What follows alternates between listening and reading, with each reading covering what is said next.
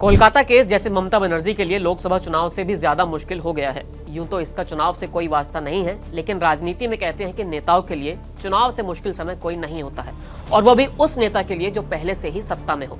ममता बनर्जी ने उस चुनौती को तो आसानी से पार कर लिया था। तमाम एग्जिट पोल को गलत साबित करते हुए राज्य में सबसे ज़्यादा लोकसभा सीटें भी लाई, लेकिन कोलकाता में ट्रेनी डॉक्टर के रेप मर्डर के बाद जैसे वो अपनी राजनीतिक जीवन की सबसे बड़ी चुनौती का सामना कर रही हैं। कोलकाता में आज छात्र और राज्य कर्मचारी संगठनों के प्रदर्शन ने सरकार को ज़रूर सोचने पर मजबूर कर दिया होगा। विरोध कर रहे लोगों ने हावड़ा से लगे संतरागाछी में बैरिकेडिंग तोड़ दी। इसके बाद पुलिस ने लाठीचार्ज किया। भीड़ को तीतर बितर करने के लिए आँसू गैस के गोले भी छोड़े गए और वाटर कैनन का इस्तेमाल किया गया। ये सब खत्म भी नहीं हुआ था कि बीजेपी ने 28 अगस्त को 12 घंटे का बंद बुलाया है। मतलब ममता दीदी के लिए मुश्किलें अभी कम होने वाली नहीं है। फ़िलहाल तो ऐसा ही लगता दिख रहा है। कोलकाता रेप मर्डर केस में हर दिन कुछ नया खुलासा हो रहा है और उससे बंगाल सरकार की परेशानी भी बढ़ रही है। अब अमेरिका के एक डॉक्टर ने ममता बनर्जी की परेशानी को बढ़ा दिया है।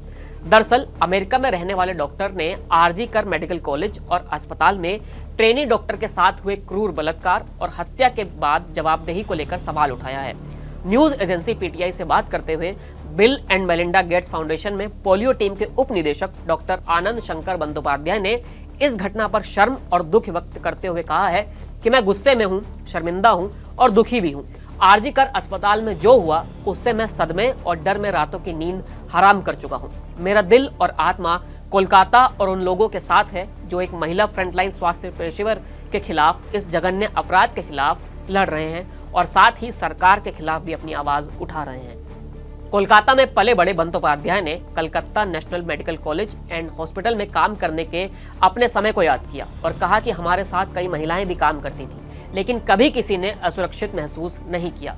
बंदोपाध्याय ने फ्रंट लाइन स्वास्थ्य कर्मियों की सुरक्षा सुनिश्चित करने में विफल रहने के लिए प्रशासन की आलोचना करते हुए कहा कि हिंसक हमले लंबे समय से एक मुद्दा रहे हैं, लेकिन ये घटना बर्बरता के सभी रूपों को पार कर गई है। पुलिस के डील करने पर अमेरिकी डॉक्टर ने कहा कि मामले को सुलझाने के लिए पूरी तत्परता चाहिए होती है। लेकिन ये सुनिश्चित किया जाना चाहिए कि अपराधियों और इसे रोकने में विफल रहने वालों की जवाबदेही तय की जाएगी। जूनियर डॉक्टरों के हड़ताल पर बंदोपाध्याय ने कहा कि डॉक्टरों, नर्सों और पैरामेडिकल स्टाफ से ज़्यादा कोई भी मरीजों की पीड़ा को नहीं समझ सकता है और मैं इनका समर्थन करता हूँ। कोलकाता केस में सीबीआई लगातार जाँच कर रही है।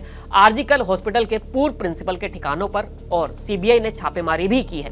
भ्रष्टाचार की सीबीआई के एफआईआर में संदीप घोष पर गैर जमानती धाराएँ भी लगाई गई हैं। कोलकाता मामले में हर दिन कुछ न कुछ नया अपडेट या नया एंगल सामने आ ही जाता है।